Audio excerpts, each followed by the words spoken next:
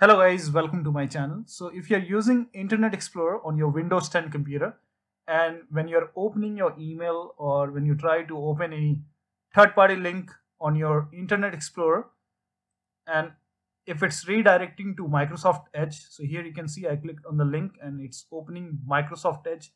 So if this is what is happening to you and if you want to open the link or you want to open the email in same Internet Explorer then please follow the steps shown in this video.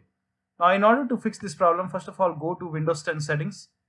So click on the start menu, then click on settings, then click on apps, go to default apps, scroll down and here you can see web browser. So go ahead and select Internet Explorer from here and then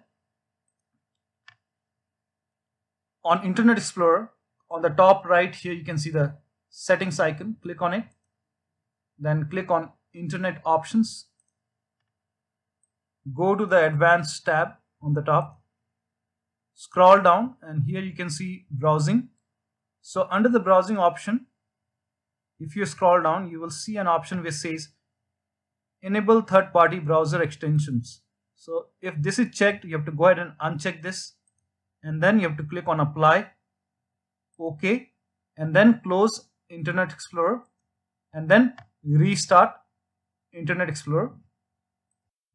Now try opening your email and when you try to open any third-party link, it will open up in same Internet Explorer. It will not open up Microsoft Edge anymore. So this is how you can stop the redirection to Microsoft Edge. So that will be all. Thank you so much for your time and please like this video and subscribe to